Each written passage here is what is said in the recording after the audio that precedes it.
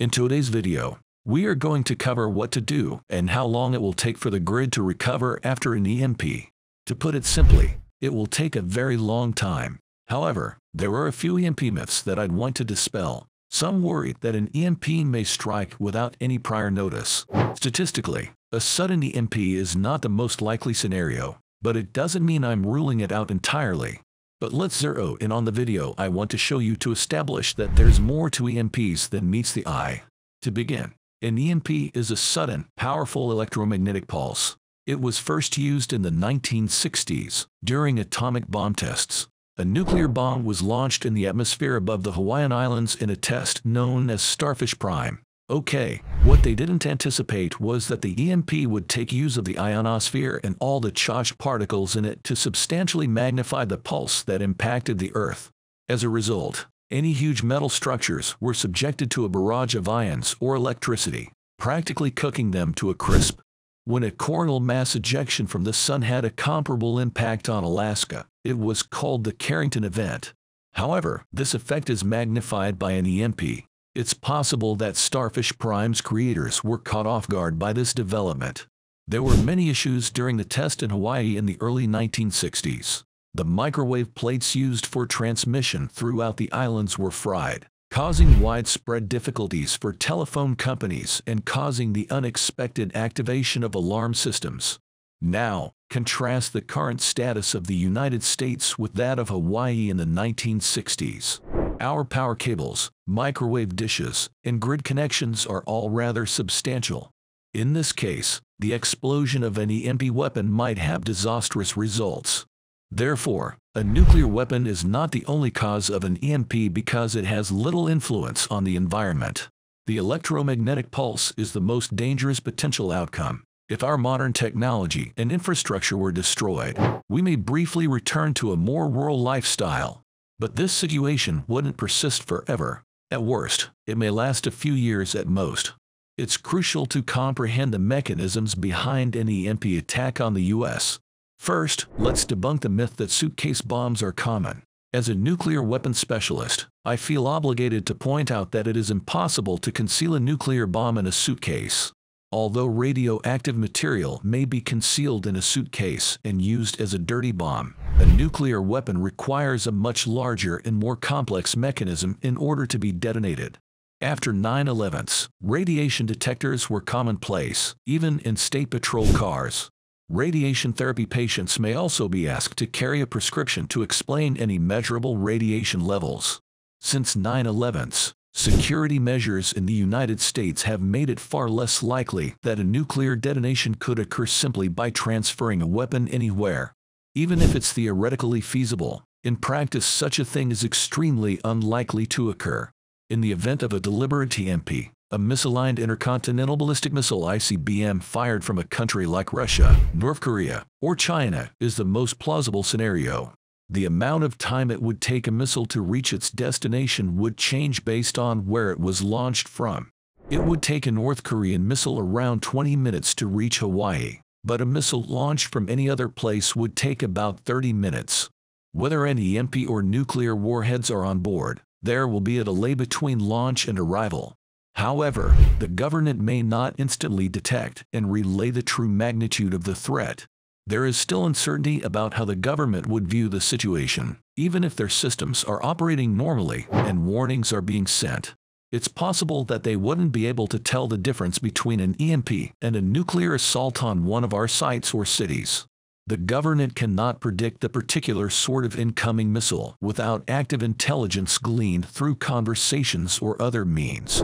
For them, an incoming missile to the United States is an incoming missile, regardless of its payload. To identify approaching missiles, we use a wide range of sensor systems, including those on land, at sea, and in the sky. We won't know for sure if it's an electromagnetic pulse weapon or a nuclear missile until it reaches its target.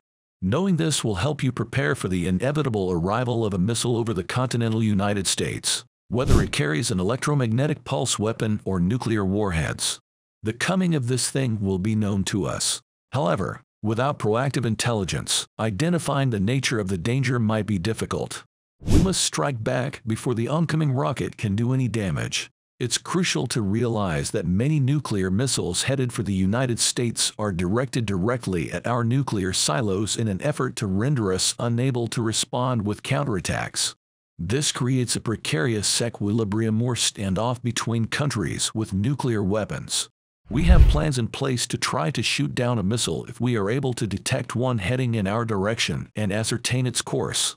Nonetheless, we won't sit back and do nothing if we suspect an EMP is to blame. We will respond to this imagined danger with missile launches of our own. So, it's important to keep in mind that an EMP event won't happen out of the blue until there's been a big escalation or signs of nuclear conflict. It's interesting to speculate about what causes an EMP. It won't come from a missile in the sky or a person on the ground with a nuclear weapon. Where then might an EMP originate? That is the critical inquiry. As a result, it is highly unlikely that an EMP will strike the United States at random, without a substantial escalation or the emergence of nuclear warfare. However, the likelihood of facing an EMP rises if we approach the point of nuclear confrontation. It is crucial to tell the difference between an EMP event that occurs at random and the conditions that lead to a nuclear war. It's extremely improbable that a random EMP incident will lead to nuclear exchange and the commencement of World War III. The most important thing to keep in mind is that our enemies would have to be able to conduct an EMP strike against us. The chances of a strange EMP happening in the United States are remote, unless our technology or materials are released and someone else creates such a missile here. The United States, however, does have the technology to produce EMPs without resorting to nuclear weapons. We have the capability to launch guided missiles that can electronically destroy certain structures while leaving untouched areas around them. It's possible to do so, but it's not something that usually happens accidentally or for no reason at all. Things would be very different if there was a great conflict like World Conflict 3. At that moment, it's anyone's guess whether or not an EMP will occur. In such cases, being well prepared is of paramount importance. If you are worried about an EMP event happening at random, consider this. Our enemies probably don't have the intelligence to launch such an assault right now. There is no way to completely eliminate the possibility of espionage or technical progress. Finally, know that a random EMP occurrence is extremely rare, and do what you can to calm people's anxieties about it. The likelihood of an EMP strike from our enemies is not a huge concern at this time because of the precise elements that would generally accompany an EMP event. But if we see things heading in the direction of conflict, the likelihood of an EMP event rises. Nonetheless, I feel it necessary to reassure our viewers that the instant assumption of an EMP is improbable even when suffering power disruptions. Such a powerful electromagnetic pulse event may serve as a preemptive attack to kick off World War III.